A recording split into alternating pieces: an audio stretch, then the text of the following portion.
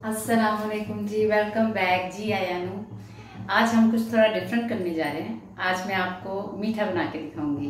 मीठे में हम बना रहे हैं केले का फ्रूट ट्रैफल तो आइए बनाते हैं। फ्रूट ट्रैफल बनाने के लिए मैंने एक किलो दूध लिया है और तकरीबन चार अदद मैंने केले लिए हैं और गार्निशिंग के लिए मैंने थोड़े से काजू लिए हैं, थोड़ी सी खजूरें लिए हैं और थोड़े से बादाम लिए हैं।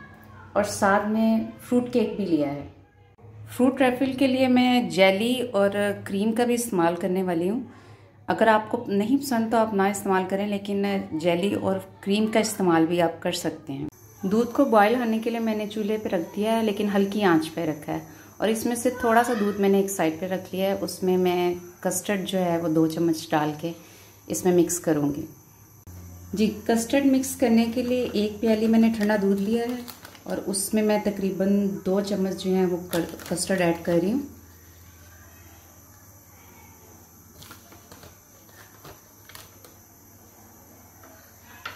जी, दूध तकरीबन बॉईल हो चुका है। अब इसमें हम कस्टर्ड जो मिक्स करके रखा था, उसे ऐड करेंगे। लेकिन कस्टर्ड जो है वो आहिस्ता आहिस्ता ऐड कीजिएगा। अगर आप एकदम से डाल देंगे तो इसमें गुटलियाँ बन जाएँगी। और साथ साथ चम्मच को हिलाते रहें। आँच को हल्का रखें।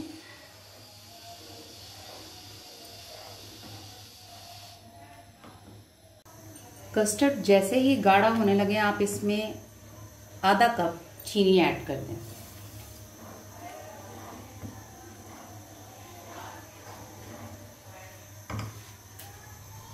जी, कस्टर्ड हमारा रेडी है।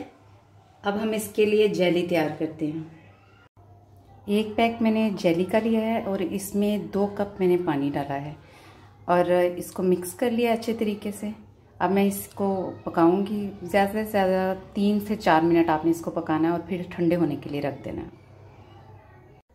जी, जेली ठंडी हो गई थी जो हमने बनाई थी। अब इसको हमने डिश आउट कर दिया और अब हम इसको फ्रीज़ होने के लिए जो है फ्रिज में रखेंगे।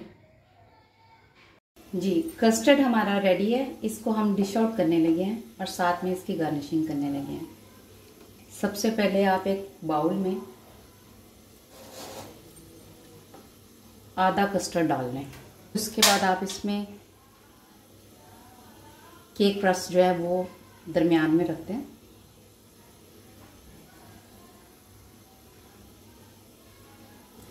इसके ऊपर थोड़ी सी आप खजूरें डालें जो मैंने काट के रखी हुई हैं।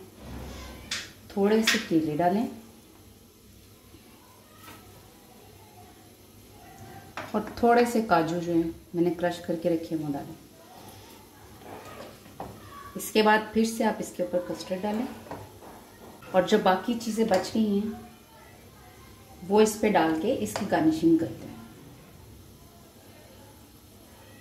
जेली जो फ्रीज़र में मैंने फ्रीज़ होने के लिए रखी थी, वो तकरीबन फ्रीज़ हो चुकी है, देखें। अब हम इनको क्यूब्स की शेप में काटेंगे।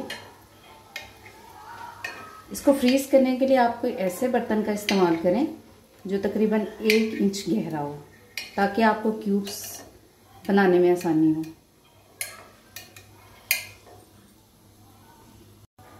जेली मैंने ऊपर डाल दी है तो अब इसके ऊपर मैं जो थोड़ी बहुत मेरे पास इंग्रेडिएंट्स रह गए थे गार्निशिंग वाले, वो डाल रही हूँ मैं ऊपर।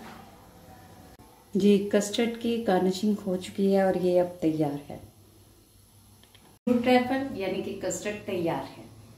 मिलते हैं अपनी अगली वीडियो में। तब तक के लिए अल्लाह हाफिज। और हाँ इस डिश को ज़रूर ट्राई कीजिएगा और मुझे बताइएगा, कमेंट्स करके कि कैसा बना है। और मेरे चैनल को सब्सक्राइब करना ना भूलिएगा और मेरे वीडियो को लाइक करना ना भूलिएगा। तब तक के लिए अल्लाह हाफिज। Take care